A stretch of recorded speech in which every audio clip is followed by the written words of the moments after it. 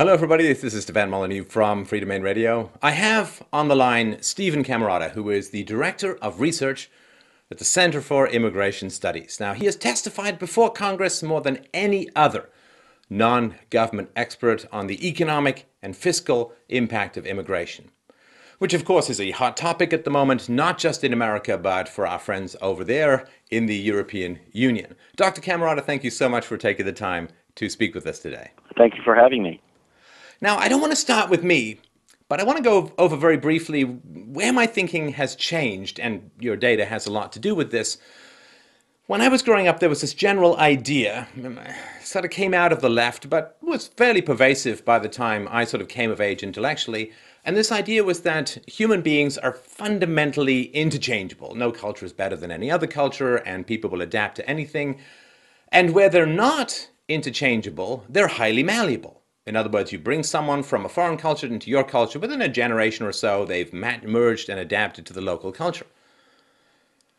So people are interchangeable as a whole, and where they're not, they're highly malleable. And um, the data that you have put forward on the topic of uh, immigrants in America and welfare usage seems to defy both of these predictions of the interchangeability of people and the malleability of people and so on. And I was wondering if you could just talk about the major findings in the study, of course, that you've recently put out and the implications that it might have for social discussions and policy down the road. Sure. Um, well, what we did was we used a survey that has seldom been used, but it's been out there. It's called the Survey of Income and Program participation. It uh, has the most detailed information on uh, welfare use by uh, families and households, but it's hard to use. And so most people have used another survey to look at these questions called the Current Population Survey. That survey has some strengths. It's mainly used to measure the labor market, but this survey of income and program participation is really the better survey but it is again it's difficult to use but that's what we did here. And so we looked at households that were either headed by an immigrant or native. In this data about 25% of households are headed by illegal immigrants about 75% of households are headed by legal immigrants uh, it may surprise your listeners, but we are very sure that legal immigrant, uh, that uh, illegal immigrants do respond to these Census Bureau surveys. There's a whole literature on that, which I won't go into, but we're pretty confident that it's roughly three fourths legal, one fourth illegal, and that's roughly the um, the situation in the population as a whole.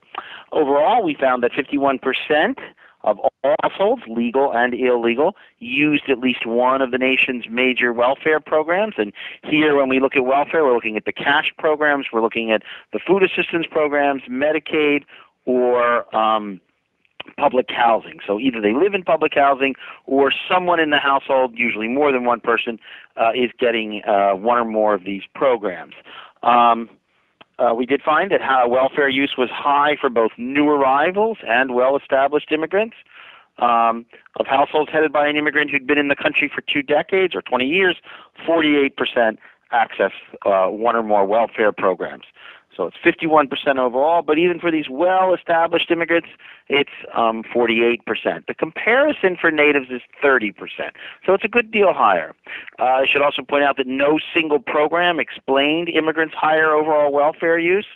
Um, we can exclude any one program. For example, don't count the school lunch program. It's still 46% for immigrants overall using welfare compared to 28% for natives. Not counting Medicaid, overall use rates for uh, immigrants would then be 44% instead of 51%, but it would be 26% uh, for natives. So the gap stays about the same. The really big differences are in the food programs and in Medicaid. Some differences also the immigrants have higher use of cash. Use of public housing or subsidized housing um, is about the same for both groups. Uh, one, I guess, maybe other final point that may interest your listeners: welfare use varies very much by um, immigrant group. Um, so for immigrants from Mexico and Central America, 73% uh, access welfare. Uh, for Caribbean immigrant households, 51%. For African immigrant households, it's 48%.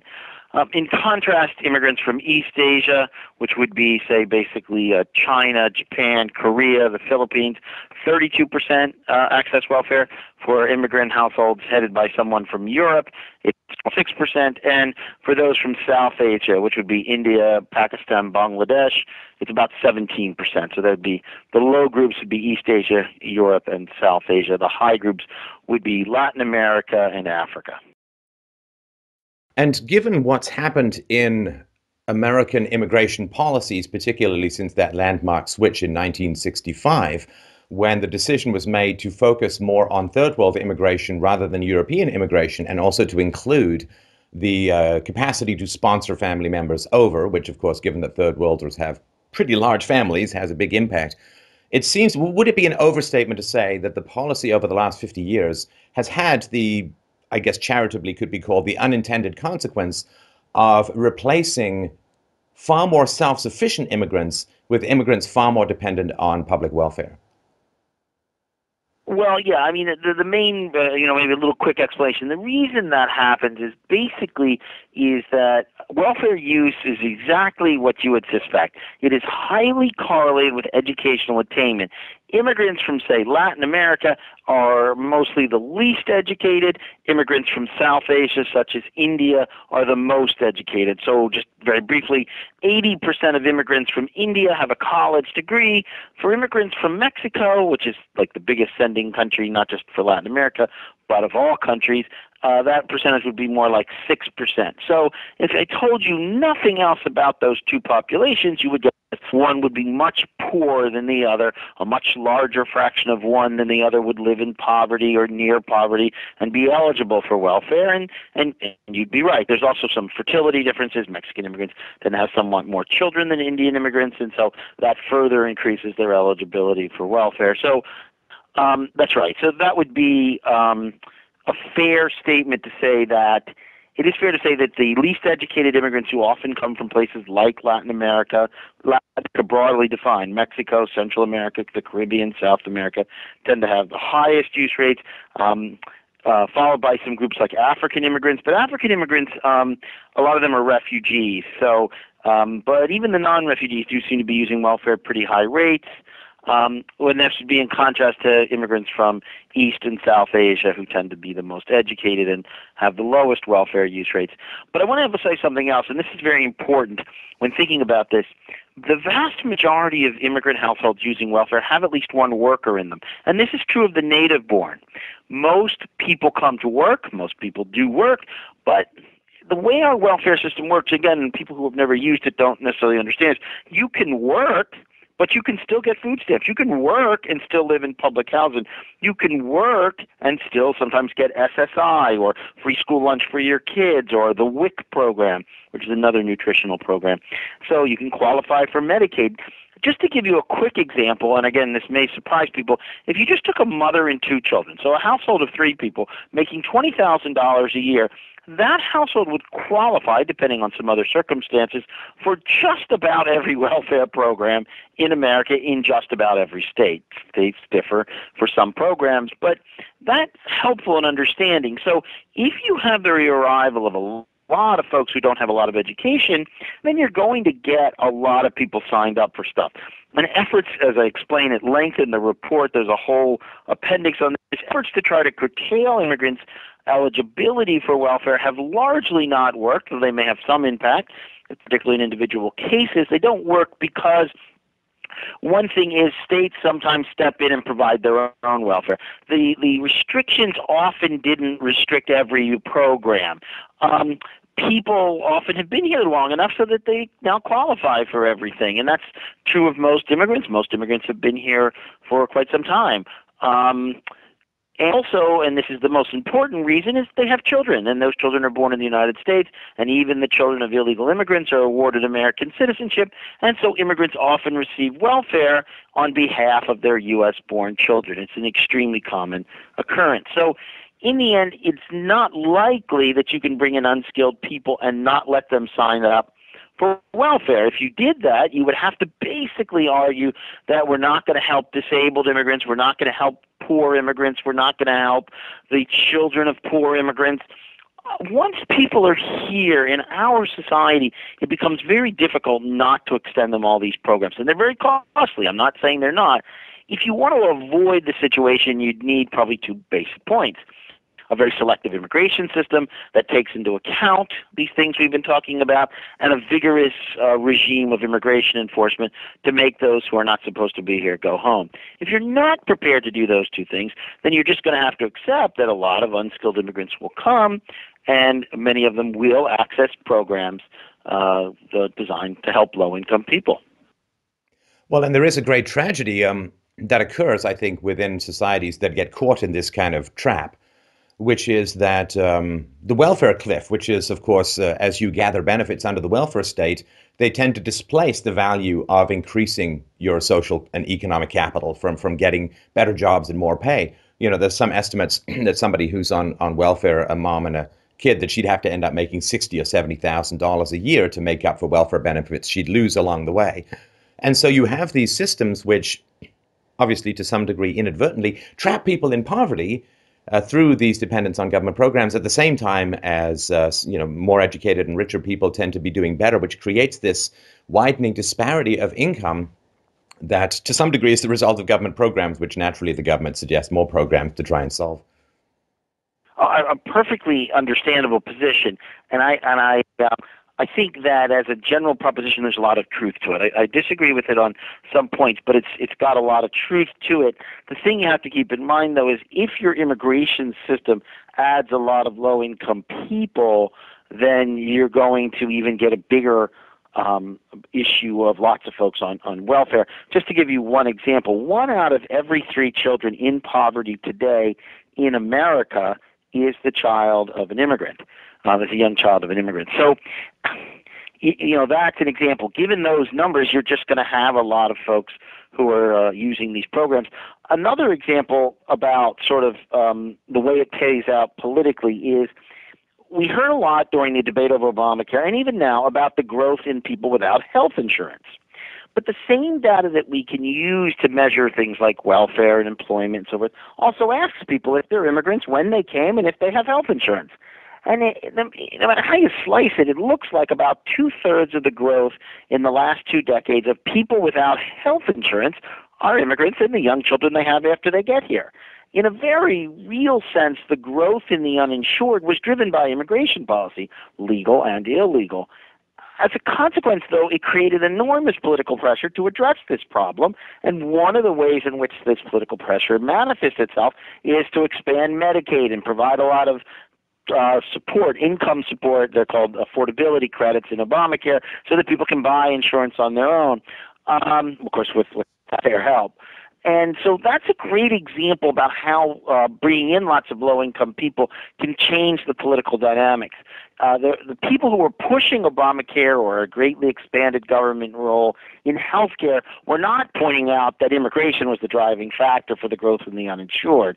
They didn't say too much about that, but um, that's how it played out. If you want a more restrained government and you want the government not to take such a large role in healthcare, then adding a whole lot of low income people who end up uninsured is probably not helpful. And this is a kind of question, so let me let me address this, where libertarian thinking doesn't take people very far sometimes. Libertarians would say, understandably, look, people should be self-sufficient. We don't want these programs. It's an infringement. It's uh, income redistribution. There's a whole series of uh, very consistent philosophical objections.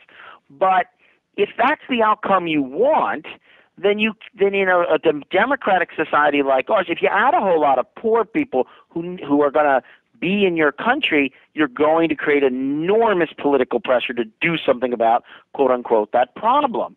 And one of the things you're going to get is a lot of political pressure to take care of them in terms of health insurance coverage. It seems unavoidable. Now, you can still say principally, no, it shouldn't. We should not provide all this health care. Yes, there may be 10, 15, 20 million immigrants and their kids uninsured, but darn it, we're not going to do anything about it.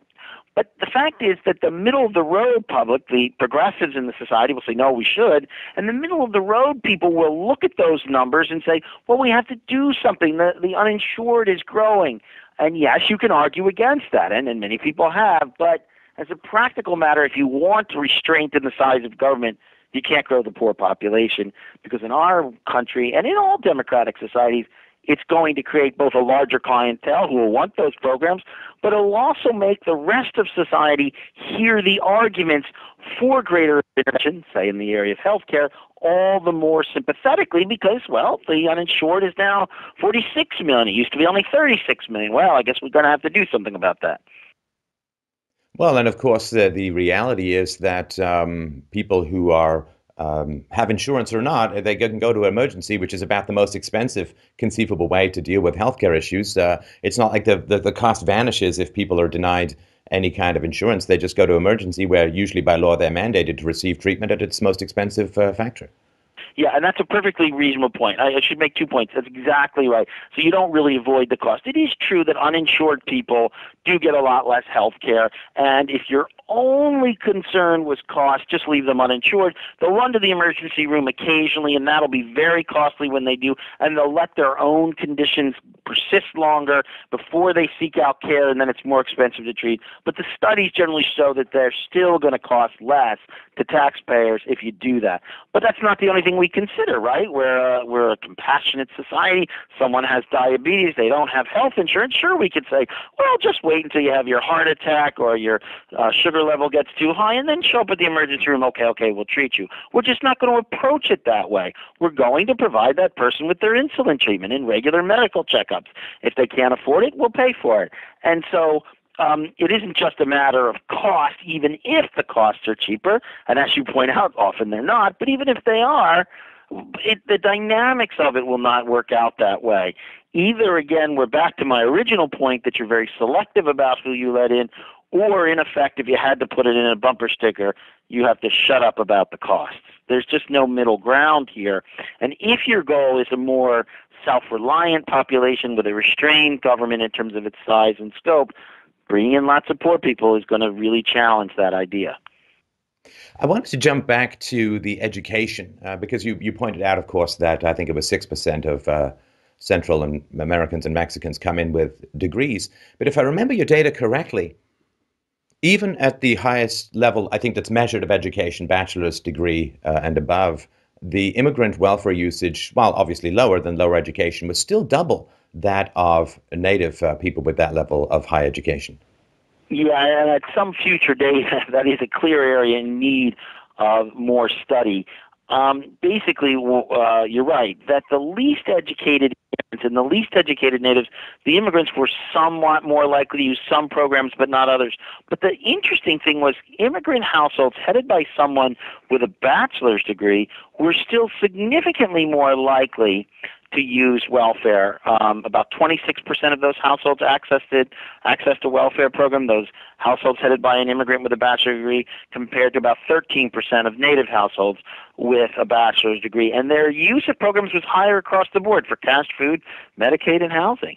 Um, and uh, very puzzling. Um, the several possible explanations is that the immigrant households are somewhat, though not that much, because the high education immigrants don't have high fertility, but they're somewhat more likely to have children. That might explain it. There might be some age differences in the populations that explain it. But it was an interesting finding that the most educated immigrants um, use more, significantly more welfare than the most educated uh, natives, which may also be an indication that a bachelor's degree is not always a bachelor's degree, which is some fraction of people educated overseas who identify as having a bachelor's degree. You know, it might be from Hyderabad Community College, and it might not be as meaningful as it sounds. Right. Now, there were two areas in the data that seem to defy the general pattern. The general pattern seemed to be you know, close to double, a little bit less than double in terms of immigrant versus domestic welfare consumption. But the two areas were cash transfers and um, subsidized housing. I thought maybe subsidized housing was because of the length of the waiting lists or the complexity of an application or so on. Did you have any answers or did you get anything out of the data that explained why uh, at times it seemed to be equal usage or even slightly less uh, immigrant usage for cash programs and uh, public housing? Yeah, your your point about um, the complexity of getting public housing and the waiting list. It's a it's an oversubscribed set of programs. In other words, there's always more people trying to move in to public housing or get subsidized housing than there is housing available.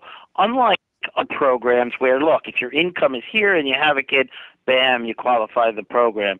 If your income is below this level, you get it. That kind of thing. That's how other programs, but not housing. Housing is a limited stock, and if you can't get it, you just got to sign up and wait. So that may be it. The other thing about cash that may serve to, to lower immigrants' use of the welfare programs is a slightly higher percentage of immigrant households have a worker in them, and people who work often, well, they can get things like Medicaid and free school lunch or live in public housing and, and food stamps. It does make it harder to get the cash programs. The other thing is the restrictions on immigrant access to welfare uh, often focus on cash particularly the program called SSI, which is for the disabled, the low income elderly, and some other populations and um, what's called TANF, Temporary Assistance for Needy Families, used to be called AFDC, Aid to Family with Dependent Children. It's like the classic welfare program. Restrictions for immigrants have focused on those things. Even with all that, the immigrants still have statistically higher use of cash, but it's not that much higher. And part of the reason might be these restrictions. Um, though it is true that the longer the immigrants live here, they tends to those programs their use tends to, to rise quite a bit. Right. And and one of the things I found, I, always love it when I get a delightful cannon shot of, of data into my prior assumptions. It always makes my, my air taste sweeter. But one of the things that I was a little bit surprised at is when people look at higher immigrant consumption of welfare programs, one tendency is to think, oh, you know, the lazy people, uh, immigrants. That, but the reality is, uh, the data that you provide is, is seems to be incontrovertible. That's 87% of wealth uh, of immigrant households have somebody working compared to 78% of native born if i remember those numbers correctly. And so the myth of the non-working uh, immigrant is is not true. So uh, saying well let's just get them to work will not solve the problem if i understand it correctly. Yes that's exactly right. It is it's not right to say that this is about non-work. It's true some of those people are working part-time, and it's probably true that they curtail their hours sometimes or don't seek better employment because they know they'd lose programs. But the bottom line is welfare and work go together like love and marriage, and I think that's the part that people who've never used welfare don't quite understand. It is not the case. The immigrants mostly come to work. Most immigrant households have a worker. In fact, when you look at households with a worker, their use of welfare is about the same as all households. Now, obviously, those without workers have the highest welfare use rates, but there aren't that many of them. Welfare is mostly in America used by households um, with workers. Now, there is another type of welfare, like when people are in nursing homes or disabled and they're in an institution, but let's put that aside. We're just talking about the non institutionalized population right now. And when we look at the non institutionalized population, it's mostly people who live in families and households with at least a worker. And this, this gets to a really complicated point that maybe given though, but it sounds like your listeners are people who are interested. And so let me throw this out as a kind of philosophical question. In a society, this is what it costs. Now, you don't have to like it, and I and you're perfectly right to argue government subsidies played a big role. But in a society where an individual health care policy, very roughly across the states, again, it's a rough estimate, costs about six thousand dollars a year, and a family co- policy costs twelve thousand dollars a year what there's no way for someone to come in and earn ten dollars an hour and afford that. Ten dollars an hour working full time, three hours a week with no vacation is twenty thousand dollars a year. How could you have any if you have a kid, the pro you know, just one kid, you know, the way the family policies often work, that's a ten, twelve, fourteen thousand dollar cost. Somebody's got to pay it. Now your employer might pick up a bunch of those costs, and for many of us, thank God they do. But the point here is the value of a person's labor is so much less than just this one basic commodity in America that they're going to consume. A commodity that government policy has played an important role in promoting inflation, but we'll have to put that aside for a moment because the person comes in, this is what it costs either the employer is going to pay it, the taxpayer is going to pay it, or somehow that person with ten dollar an hour income is going to pay it, which is not going to happen, of course. They may be able to pay two hundred bucks a month towards it, but that's about it. And so this is why you have to think through any argument when an employer says, well, gosh, I need workers and fill in the blank. I need them to work in my seasonal hotel in upstate Michigan. Why, I need them to work in my furniture factory in New York. I need them to work in my meat and poultry processing facility in Oklahoma. Well, maybe you do need workers. But if you're only paying 8 to $12 an hour, who's going to pay for the health care for those workers? People who make that income can simply not afford it. It is not a possibility. Either you, the employer, has to pay, and the employer's like, well, look, the worker's not that valuable to me, so I'm not going to pay it. Well, then, guess what? The taxpayer is going to end up either treating the person in the emergency room or covering them with Medicaid or related programs. It's it seems difficult to avoid, and it's why you might say the message of this whole report is there's a high cost to cheap labor. And it doesn't seem there's any obvious solution. And I've just mentioned one issue healthcare. You can't bring in poor people and expect them to pay in a society where healthcare costs this much.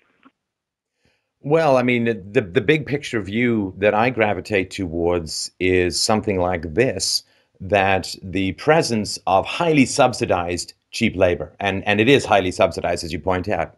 Uh, somebody making ten bucks an hour can can barely afford to live hand to mouth under a bridge in the United States. So the question is, why is this labor not being automated to the degree which it can be, or why aren't the real wages being paid that people would have to live in the country, and those costs, of course, in hotels would be passed along to the customers and so on.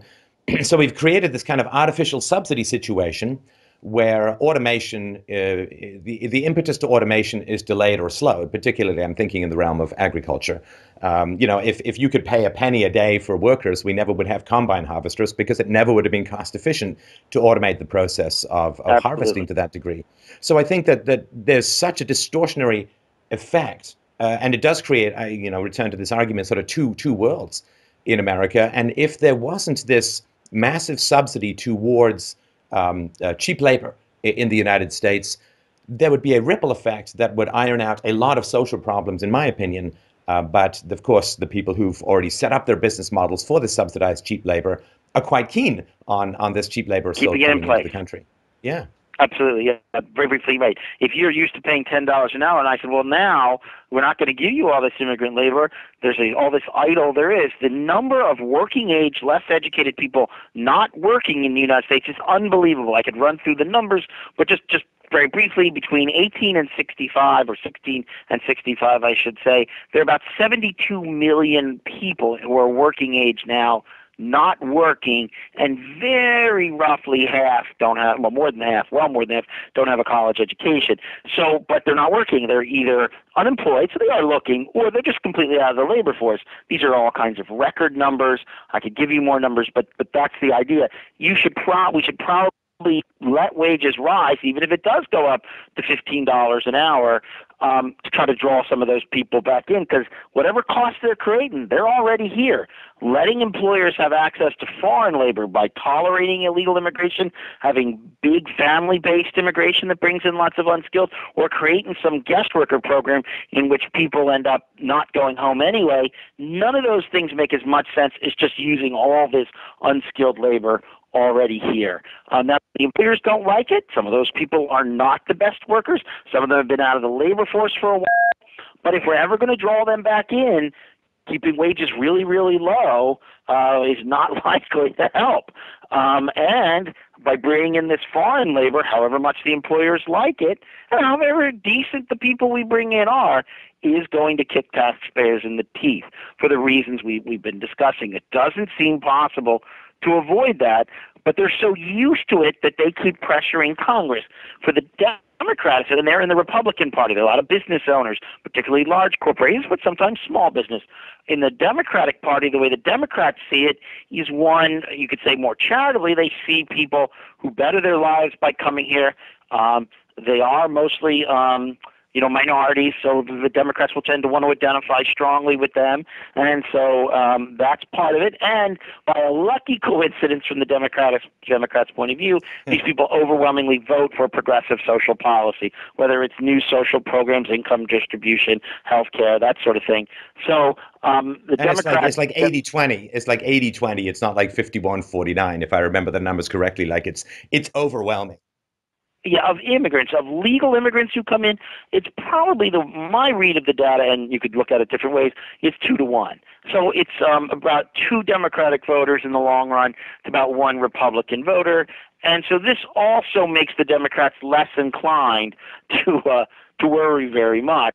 I would think they'd be worried about the job competition, or the potential impact on making the welfare and redistributive state less viable in the long run and creating burdens for it. But it turns out they're not very worried by that, and they rightly perceive that it creates a lot more support for those things when you bring in poor people. So, you know, from their point of view, it's not so bad. They're allied with elements in the business community, and quite frankly, a lot of ideological libertarians at the Cato Institute and people like Paul Ryan who say, look, the free movement of people's got to be part of, you know, kind of the, the a notion of basic human freedom, and they don't consider the consequences politically. And sometimes when I press my libertarian friends on this, they say things that I find, two things, for example, that I find kind of not realistic. One is, well, we'll get rid of the welfare state. And my response is, okay, do that first, and then you'll have your mass, um, uh, you know, then you can have your mass immigration. I always feel like saying get rid of the welfare state is um, is a little like saying, well, if gravity were less, I could jump higher. Yeah, maybe, but it's not likely to happen. I'm, I'm not going to diet. I'm just going to move. I'm, I'm not going to diet. I'm just going to move to the moon, and that. Yeah, that's right. And I'll be able to jump, and I'll be I'll be lighter. And then the, the second thing they say is when you point out, well, you know, that they generally don't agree with you politically, it's their right, it's a democracy, they're coming in, they eventually become citizens, they vote, the system has to represent them, and they, like Obamacare, for example, the libertarians, well, we don't have to let them vote. We'll make them all guest workers, as if America is a place where we're going to have like a, a helot class from like ancient Sparta, where the people have no political rights. That's very attractive in a democratic republic, isn't? So the people, they clean your toilets and pick up your trash, but they have no political rights. It's first off that again is back to really is that attractive? And it's not likely to ever happen. Plus unless you're prepared to do things like deny the children of these legal, I guess, guest workers a citizenship, then then you'd have a perpetuation of it. And again, is that really attractive, especially uh, in a democratic republic? I, I don't think so. But that's what that's what I get when I press them on this. Um, and so it's a, it's um, there's a real cognitive dissonance for them, and I think they've they've they've convinced themselves again, the Cato Institute, Paul Ryan, and such that um, uh, large-scale immigration is a necessary part of a restrained government and human freedom and, and and so forth, and they haven't thought through the consequences. Well, I think this is the real challenge with immigration for a lot of people is that. Um, everybody wants everyone in the world to have a great life. I mean, of course, you know, I want to wake up in the morning and think that everyone else is having a better life. But we have a system where uh, people are moving kind of into your financial house. They're not just moving onto your street. Now, whoever wants to buy a house on my street, yeah, go for it. Have fun, enjoy yourself, and, and what do I care, right? I hope we'll be good neighbors. But the problem is, of course, that there are direct financial impacts to the domestic population when newcomers come in. And say, oh, America was built uh, as a nation of immigrants, well, that's true. But generally, they came from the European tradition, which was relatively small government, separation of church and state, and, and a laissez faire, to some degree, economics. And when there was no welfare state, there were all these friendly societies, and there were churches and charities that took care of people, and I would argue much more effectively than the welfare state does at the moment. But comparing the past in America and saying that it's directly analogous to now, I think is quite a misnomer. Right. I mean, just a, almost one statistic. In 1900, during the previous great wave of immigration, which is generally 1880 to 1920, um, total spending, federal, state, and local, was very roughly 5% of GDP, right? Mm. Today it's 35%. So right there, it tells you that even if it works out that you can bring a lot of poor people in in 1900, and there's a whole debate about the relative poverty of immigrants back then versus the average income now. We don't have to discuss it. It's 5% versus 35%. It means that bringing in people who don't pay much in taxes has enormous negative imp- implications in 2015 in a way it didn't have in 1915. It's just the reality. Right. And I think, you know, the, the, the, real challenge with, I think, any kind of public policy is trying to get people to understand the basic law or principle of economics, which is look past the seen to the unseen. Right. So, so what happens, and I think we touched on this earlier, is what happens is, uh, say, hotels get heavily subsidized labor, which means that they can charge less for their hotel rooms. But that adds, I would argue, far more to the tax bill, not even counting, you know, the borrowing and the compound interest on the national debt and so on, and unfunded liabilities in the future, Social Security and and all of that. And and the seen is, well, you know, if if we stop subsidizing, then my hotel price is going to go up. However, the unseen is the degree to which getting cheap labor adds to your tax bill. And that's a lot harder for people to make the connections if they aren't used to that way of thinking. And it's always bad in economics when you have a hidden cost that everyone's a diffuse cost, in this case, the taxes to support low wage workers, because the employer will love that situation. You, in effect, are paying the wages for his workers. You know, let me run through some very quick numbers on agriculture. In agriculture, and this is, you'd be surprised how true this is and everything, unskilled labor is only a trivial, or tiny, I should say, part of the total cost the consumer pays. So let's take the people who do fresh fruit and produce. Those jobs pay ten, twelve, fourteen dollars an hour. They're hard jobs out in the hot sun, but that's all they pay. So if you pick apples or heads of lettuce for a living, um, that's about what you make. If you go to the store and buy a head of lettuce for a dollar, which of course would be a great price, but how much of that actually makes it back to the guy who picked the lettuce? Well, it turns out we know that calculation. It's been pretty well studied. It's about six cents. So, or six percent of the cost. If you paid two dollars, it would be twelve cents. So, if you let wages rise fifty percent, instead of paying twelve dollars an hour, they paid eighteen dollars an hour. The cost of your hypothetical lettuce could still only be, let's say, if you paid two dollars for it, still a decent price. Um, it it would uh, it would still only could only go up by one uh, by fifty percent of six percent. So that's three percent, and three percent of two dollars is six cents. That's it. It can only go up by about six cents in that case, and it would only be a one-time hit. And all of this assumes that all of it gets passed on to the consumer. In the case of lettuce, just to give you one example, most of the bagged lettuce you see in the supermarket today is already being picked machine. It's only head lettuce that still is mostly hand-picked. So if we had less immigrant labor and they had to pay more, uh, head lettuce would be more of a premium, and we'd get more bagged lettuce but we'd avoid all the fiscal costs that we're talking about. Very on. We, so what does all this tell us? A, we get that fiscal cost taken care of by mechanizing. The second advantage is that um, we we don't have a huge poverty population in the United States, and so we avoid that issue. And what few people there are who would then work in agriculture at least make eighteen dollars an hour, which isn't so bad. It's not making twelve, so we'd have less poverty, as I say. So there seems like a whole series of advantages to just curtailing immigration, letting wages rise, letting capital substitute for labor. Um, but now let's flip it around look at it from the farmer's point of view. He's it's six percent for consumers, but for the farmer, only eighteen cents of that dollar makes it back to the farm, and six goes to the guy who picks it. From therefore, from the farmer's point of view, it's one third of his costs.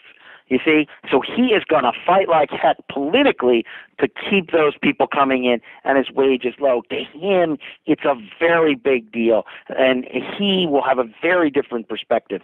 But in our society, unskilled labor just doesn't account for much of GDP. The general calculation is that the poorest 20% of workers, which is well over 20 million people, still only account for something like 7%, maybe 8%, but probably more like 7% of total GDP in the United States.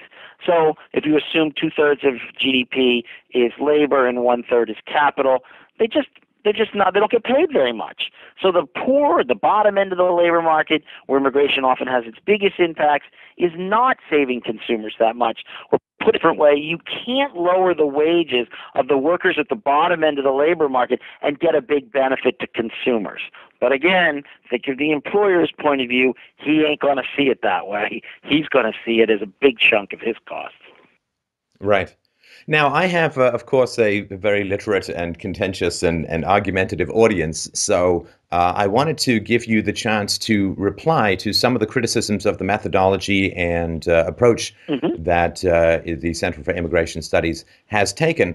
Um, just, you know, my, my two cents, I did go back and forth, particularly with the, the Cato Institute, and um, I did not find their rebuttals to be particularly compelling, uh, to put it as mildly as possible. But I wanted to bring them up so that people could get your mm-hmm. responses to it. Um, so, of course, uh, one of the big questions is uh, why household income rather than individual income, the argument being that that overinflates because uh, immigrants have larger numbers of people in a household, that overinflates welfare consumption to talk about households rather than individuals? Well, there's a couple of things about that. First off, that's how welfare is determined. If you have a very low income, but you're married to a woman who makes 200,000 a year, you don't get any food stamps. It's not based on just you, it's based on your family or in the case of food stamps, mostly households. So uh, the way our welfare system works, and I think we mostly agree, assuming we're going to have a welfare system, is you can't just say, well, what do you individually make? It's it's what does everyone make, and it's also the case that how much you get, because some people get a lot more on stamps than others, it's based on how many kids you have. So we only give out these programs primarily anyway based on the total characteristics. It doesn't make sense. Think about it this way: How would you do individual individual calculations for public housing, for example? It doesn't make any sense. Everybody in the household gets public housing. The only way to think about that um, is that. Other issues are, well, the immigrants are just related issues. Well, when you do housing, one of the problems is immigrants have more kids on average, and so is that going to increase their welfare use? Um, and there's also more adults on average in immigrant households. They're, they're roughly speaking, just they're about 2.5 people per native household and 3.5 people per immigrant household. But the problem with that argument is the presence of kids represents a choice. If you're choosing to have children and then are unable to support them and then turn to the taxpayers to feed and house and clothe and provide medical care, that's an important finding. And that seems to be what happens in the case of a lot of immigrants. The fact that they're choosing to have the children and then a large fraction on get on welfare doesn't invalidate the methodology. In fact, that's one of the key findings. In terms of having more adults, well, that cuts both ways. One way, and which is positive, is the more adults in a household, the more people who can potentially work and thus make the family self-sufficient and that won't have need for welfare. It doesn't work out that way for immigrant households, but larger household size is not a particularly compelling critique. And as I say, we we uh, we look at things by household when we give out these programs.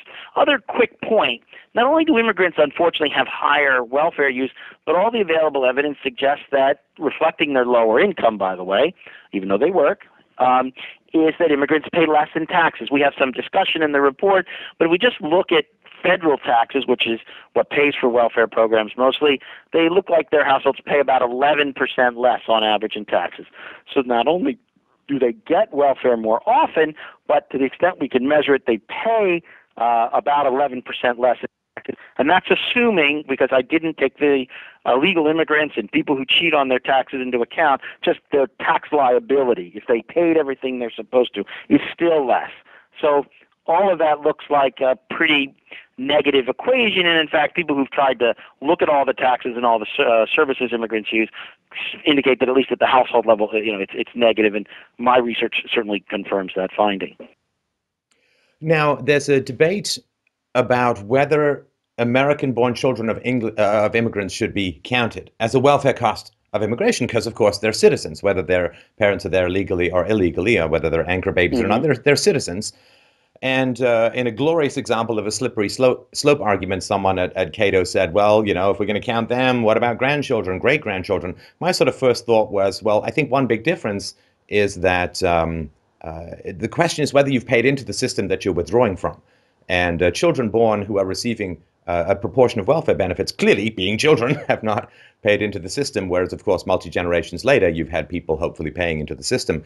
Uh, but why? Um, uh, why would you think it important to count the children of immigrants as a cost of immigration? Well, here's the thing. Um, the whole welfare state is really geared towards helping children, right? You know, roughly half of all welfare spending, very roughly, is towards children. The whole thing is for children, particularly those um, who are working parents with children who have low income. So if you took out the children, then and you did that for the native born too, presumably, because you'd have to do it for them. Well, then nobody's using that much welfare because that's that's our system. Our system is designed to help. So some programs are only for children, right? The TANF program I mentioned used to be called Aid to Family with Dependent Children is basically only for households with children. And WIC, the Women, Infants, and Children Nutrition Program, and free school lunch and subsidized school lunch. So again, the whole thing is geared towards children. The other question here is, for that argument to make any what you have to basically say is a person comes to America and has a child in the United States, signs that kid up for Medicaid, gets free school lunch, lives in public housing. Um, maybe they have a second kid who's younger, who's getting the WIC program, and they get a check every month for those two children. Now, the check technically is for the two children, not for the ineligible immigrant parent in this case. But all of those costs I've just outlined don't exist really. They're not real, and they have nothing to do with the immigrant uh, who came to America and couldn't support his children. That's the only way that argument makes sense. It seems kind of silly. It, it says that basically, if somebody comes and they and all these costs are created as a direct result of them, and then the children they had in the United States, we're not going to count it as a welfare cost associated with immigration. If you do that, then it seems like you've missed the whole problem, which is, the, as we try to stay in the report, a big chunk of these uh, issues are that people come to America, have children, and then turn to the taxpayer to support them. Now, I suppose you could say, look, I don't care. It doesn't matter. Um, eh, those kids were born here, and therefore, whether the billions spent on them that would not otherwise have been spent, um, had it not been for their parents coming in, uh, we're not going to count that. Uh, it seems, again, kind of silly and ridiculous. One final point when we look at households with no children, the immigrants also have significantly higher welfare use than native households with no children. The results often reflect the presence of children, in other words, but even when you take out the impact of children, the immigrant households have much higher use than corresponding native households, pretty much for every type of program. Cash, in that case, would be mostly SSI, food stamps, public housing, and so forth. So even without counting the kids and comparing the natives you when you don't count the kids, you still get much higher rates for the immigrants anyway. Well, and we've had uh, Dr. Jason Richwine on the show talking about uh, issues and multi generational issues, particularly with Hispanic immigrants, that uh, immigrants from Europe do tend to assimilate, do tend to end up in the middle class, and so on. But there are multi generational issues among Hispanics that don't tend to resolve over time. I mean, the causes for all of that are obviously up for debate, but the facts seem to be fairly incontrovertible. Right. Well, in our appendix, if you want to go through it, and some people have, uh, the statistics for native-born Hispanics, why do, why look at Hispanics? Well, about 58, 59% of all children born to immigrants are born to a Hispanic immigrant, partly because Hispanics are almost half of all immigrants, and they have the higher fertility, so they're more, much more than half of all births among the foreign-born or among the immigrants. When we look at native-born Hispanics, well, the welfare use rates, uh, you know, are shockingly bad. So that's even a, a more troubling problem. And most of those people, native-born Hispanics, are mainly the children of immigrants. They've just reached adulthood. Um, so, for example, um, if we look at all households, um, uh, let's see. Well, these are households with children um, just have in front of me. This is in Table A8. If anyone wants to look at it in the report, 76% of households headed by Hispanic immigrants with ch- Hispanic natives with children. So the household is a, is a Hispanic native household, and they have children. It's 76% versus 41% for, uh, say, white households. So a very large difference. If we just look at all households, which may be another way, we won't just uh, look at that. Let me find that number very briefly. Yeah, so for all Hispanic households, uh, with kids, without kids, um, the uh, it's uh, 54%. The rate for all native households is 30. So for Hispanic natives, it's 54%. For all, it's 30, and then uh, for whites, it's 23, and for Asians, it's 22. So the rates for Hispanics uh, native born are even in some ways even more troubling than they are for immigrants generally because the Hispanic natives really are using every type of program uh, kind of across the board. They're very high use of cash, incredibly high use of food programs, but also Medicaid and housing and so forth. So U.S. born Hispanics, many do succeed. Many are joining the middle class. Many are very affluent, but on the, uh, a disproportionate share, truly disproportionate share, are in or near poverty and have signed themselves or their kids up for just about every welfare program you can name. So that's an extremely troubling finding. We didn't go into that report, but the data is there uh, if, if you'd like to see it. Yeah, so this is not something that resolves itself. This is not a cultural adjustment shock that resolves itself within a generation. You are involving a multi generational problem. Yeah. Now, another issue that uh, has been brought up uh, in, in opposition to the data Uh, I, you know, I'm not even going to say my thoughts on it because you obviously rebut it far better than I do. But um, like, man, why did you not include Medica- Medicare and Social Security? They're much more expensive than this stuff. Uh, well, I think a couple things is they're not welfare very briefly, everybody uses those programs when they get old, including the immigrants. The use rates for immigrants, 65 and over, just not like you would be surprised for things like Social Security and Medicaid is just like the native. It's virtually everyone. Everyone signs up for those things. Welfare is entirely different. Not everyone uses welfare when they're young. So what this tells us is everybody's pretty much a fiscal drain when they're old. It's just when they're young is the, when the difference is are, though obviously there's some very rich old people who still pay a lot of taxes. But the bottom line is those things are not means tested anti poverty programs. They're universal. Everybody uses them after 65. Whereas welfare is very different. It's an important way in which immigrants and natives can differ. And when we look at those differences, they unfortunately appear to be quite large. So uh, I guess that's the bottom line. Welfare is free stuff basically. Medicare and Social Security are certainly programs that, after a while, do pay you back everything that you put in. But now they're not anti-poverty programs. Not only are they universally used, they're programs people do pay into. And some people never get the money they back. No one pays into TANF. No one pays into food stamps. No one pays into public housing. It's just free from the taxpayer. And so it's a it seems kind of silly again to say, well, they're welfare too.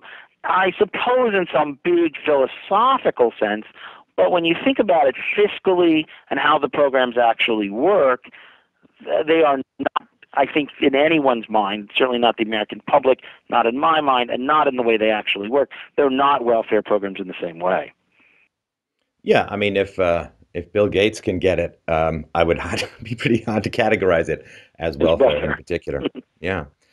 So, um, I just, I just, I want to give you the sort of the big, big sort of policy. I'd love to share a thought or two with you, and, and you can obviously comment and then and then finish up as you see fit. But um, I think I've always believed that if you give people the right information, they'll generally make the right decisions. Or another way of putting it is, if they have the wrong information, they'll never make the right decisions. And uh, one of the things that has uh, troubled me about this um, conversation regarding immigration is the degree to which the right information, the correct information, or at least the closest we can get to it's just not present in the conversation. So it's one thing to say, oh, you know, immigrants are great for the economy, they're cost effective, they're going to work hard, they're going to pay for your retirement because Social Security has been characterized, not unjustly, I think, as a Ponzi scheme preying on the young. So we get these immigrants in, they're going to work hard, they're going to pay for your retirement, they're a net positive to the economy. That's an appeal to self interest. And we may more justly feel that we can inflict someone's self interest on them against their will, so to speak. But if, on the other hand, as your data seems to, I think, more than suggest, that uh, immigrants, as they're currently demographically constituted, are a net negative to the economy, are a net cost, and some of that cost is paid in the here and now. Some of that cost is paid uh, in the near infinite future based on the deficit spending and the unfunded liabilities that so plague uh, just about every political system. And so saying, well, I like immigrants, but they're very expensive, and so you should pay for them as well as me. Well, that's to me a very different moral argument. Saying, well, it's in your best interest, and here's the numbers, and so you know you should pay because you'll get more money back. You know, libertarians may still have some issues with that, as might I, but it's a more compelling argument than I wish to satisfy my conscience by giving people a better life at your expense, and you should be forced to pay for that which I prefer, which is a net negative to you, at least economically. And I think that, to me, is the debate that needs to happen. But until we get clarity over the true costs and benefits of immigration, it seems to me that um, everybody who doubts it is sort of, in some definition, just automatically a bad person because the correct information about costs and benefits is just not part of the conversation.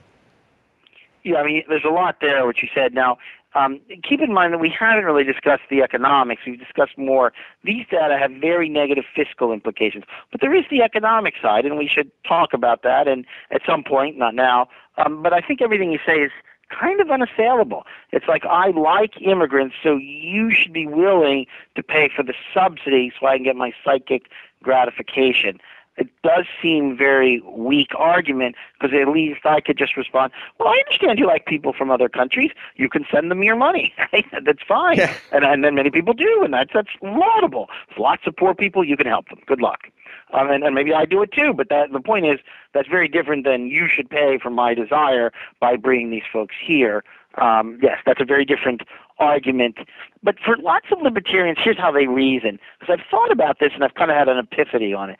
Their position is look, people should have a right to move to better their lives. Just like you can move from Chicago to the suburbs if you think it's better, and then you can go from Illinois to Massachusetts if you think that would be better. It's the same. Somebody should be come from the Central African Republic and go to Florida or Massachusetts if they want, or anywhere else for that matter, because the individual has, should have that right. In the same way, he should be allowed to express himself and say what he wants. Can't hurt other people. It's that kind of thinking.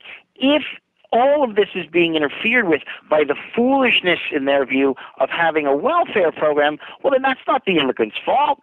Okay, so we have these things. Yes, you're right. He will probably get them if he comes. If he's an honest libertarian, say yes, nothing cost, and uh, that's a problem. But the solution is get rid of the welfare state. So now that is a, it's a very post-national, it's a very um, internationalist, uh, anti what you might call national perspective, but there is a certain consistency to it. And and people like Alex Nowrasteh at Cato, who who uh, who weighs in on these things, that's what he basically believes. What I just described. My criticism of him is probably he just won't say that very often. He will once in a while, but he won't say, look, I don't care about America. If it imposes a huge cost, tough luck, taxpayers, because the right of people to come trumps your desire to not have those things. And if you, America, want to have a welfare state because you feel it's, it's humanitarian, tough the immigrants are going to use it then, and you got to pay for it. Uh, he would say, let's get rid of the welfare state, but the right, and again, it's he's he's um he's very strong, committed to individual rights, but patriotism and love of country, they're anachronistic. They're like medieval chivalry to him. It doesn't make any difference. And so that's an important point. Oh, and this is sorry to interrupt, but this is what drives me into the nuts about this argument is okay, if we say, well, we can have free immigration if we get rid of the welfare state, then given how immigration is currently constituted, you are importing votes for the welfare state which seems highly risky if you want to get rid of it. So why not wait until you've gotten rid of the welfare state and then open the borders? Wouldn't that be the logical consequence of that argument? Absolutely right, and and do that. But they're going to say maybe that would be the better way we say to do it. But if we're not prepared to do that, then let's let the immigrants in, and it'll be. Uh, this is with uh, um, I forgot his first name, Caplan at George Mason. Oh, Bryan uh, he would Caplan. say the same thing. Yeah, Bryan Caplan. He'd say the same thing. Well, okay, maybe it is true that they're a big net fiscal drain, but that's not their fault. That's your fault. Get rid of the welfare state. They should still have a right to come. After all, life is really bad in Haiti, and it's a whole lot better in Miami, even in the poor parts of the city. So they should be allowed to move to Miami. The political impact the impact on my personal freedoms, the fiscal costs. Well, you know, he's it, all of that is trumped, and again, it's all very post-national. But most Ah, people, and I, I sorry, I can only I can only assume that yeah, and and I can only assume then that the, the people who are pro this uh, also are ignoring the degree to which um, non culturally compatible immigration has a net negative effect on the quality of public education. And I think that's something that, uh, you know, the amount of resources that get diverted to uh, language uh, barriers, to cultural barriers, and so on is substantial. And uh, I'm not sure exactly why the domestic children uh, should pay for the moral sensitivities of libertarians uh, in terms of getting a lower quality education as a result of influx of people who are very expensive to accommodate within the existing public school system. Yeah, which I think you're touching on is look, immigration. We just talked on one thing: the arrival of someone who comes and gets a job can, in fact, can can in fact have a huge impact on lots of things. And one is public coffers, one is public education, one is a sense of community. There's just lots of things. And if all your focus is on his right to move, you miss all those things. It's as if his right to move trumps every other concern, and that's um, and that's essentially what I mean. I'm not trying to use this word provocatively, but that's the extremist libertarian. Now, I don't think most regular libertarians are even post-national. Most of them are patriotic. Say, look, America's tradition is this. We should preserve it. We certainly have a bigger obligation to our own people than other people. I love America. Most libertarians probably would say those things. I want to see her great. I want to preserve. I want to bring down the size of government. All these things, partly out of a sense of patriotism. But the intellectuals uh, who are libertarian, like Caplan, like Nowrasteh, That isn't their perspective. They're, they're and not, let me make something clear. They're not anti-American. They're just indifferent. They are post-national, or uh, as, as my uh, as my colleague Mark Krikorian likes to say. And what's troubling about them is they usually just won't admit that in public, but sometimes they will. In fairness to them. Right. And uh, I know we are short on time. One very quick uh, thing we, we wanted to, you mentioned economics. Maybe we can get you back on to talk about that more because it's such an important issue.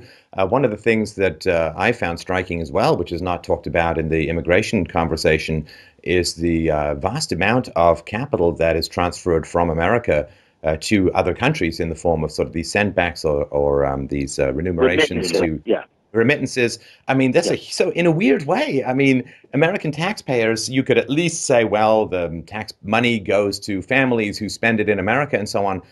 But uh, in a lot of ways, this money is heading uh, overseas uh, and and maybe never to return, and that is a huge uh, amount that you're subsidy subsidizing not even people living in America, but to people living outside of America. Right. I mean, remittances must be twenty to forty billion dollars a year. Well worth thinking about. Um, and it's certainly money that is not able to be taxed. And unfortunately, it's money, it's consumer power, it's potential tax payments, it's uh, anything like that. It's money that could be spent on uh, improving the education of children here that uh, is flowing out of often some of the poorest communities in America already. Right. Okay. Well, uh, I really, really uh, appreciate your time. Uh, it was a great pleasure, and I am looking forward to everyone who calls me a bad classical liberal uh, for having this conversation. But I think the information that uh, your group has put together is absolutely essential for people to. Um, you, you, can't just live in the platonic world of forms. You need to get that good old-fashioned human, human empirical data from time to time, and I think that that your uh, the information your group has put together is essential for informing uh, this debate. Uh, do you have any uh, up and comings that my uh, listeners and watchers should be on the lookout for? Well, we continue to put stuff out. Uh, I'm going to put stuff out, obviously, on health insurance coverage and poverty and stuff, and some of it the immigrants do quite well. There's not so much. Also, another big issue to think about if you're interested in cultural questions is the flow of Syrian immigrants. Um, obviously, Europe is transfixed by it, but there's going to be a lot of pressure to take in 100, 200,000 people from Syria. Um, it is not possible to vet them. Records were terrible in Syria before the war, and now they're non-existent. To know, to identify people, to know about their national security risks and their political orientation is not going to be possible, and that's going to impact. The other thing is the United States spends enormously. Remember, just to give you an example, 91%, we're talking about welfare use, but 91% of immigrants from the Middle East who are refugees, according to a different survey called the Annual Survey of Refugees, um, uh, access uh, um, uh, food stamps, and a third are getting cash assistance. We spend a lot on refugees. Bringing in uh, 200,000 refugees over a few years will cost many billions of dollars. And that's something we need to think about, even in addition to the national security implications. And the evidence seems to be very strong that this will not be a one-time cost. Uh, that it's uh, a, a perpet- it's in perpetuity to some degree, at least as far as the data has stretched multi generationally, that it is not a one time cost. So, well, I really, really appreciate it. We'll put links to your uh, group below, links to the study. I really strongly recommend to, to people to go and read it. Just go go and get the facts uh, and, and question the degree to which various groups are interchangeable or entirely malleable by circumstances. Uh, the, the, data from psychology seems to show, and genetics seems to show, that human beings are not water, that you could just pour them into any container and they'll take that shape. Uh, and uh, that is an important part when it comes to think about uh, what kind of society we want to live in. And I'm not saying you endorse any of that. I'm just saying that those are my particular uh, thoughts. And uh, really, really appreciate the conversation. And of course, I hugely appreciate uh, the work and, of course, to some degree, the flack that you're taking for getting this information out there because uh, a better informed populace is really one of the most essential components for wise social decision making. You've done, you guys have done a lot to add to that, in my opinion. Well, thank you uh, very much. Hope you'll send me a link uh, by email to uh, to once you get it up there. Will do. Thanks a lot, Dr. Camarota. We'll talk to you again. Okay. Bye bye.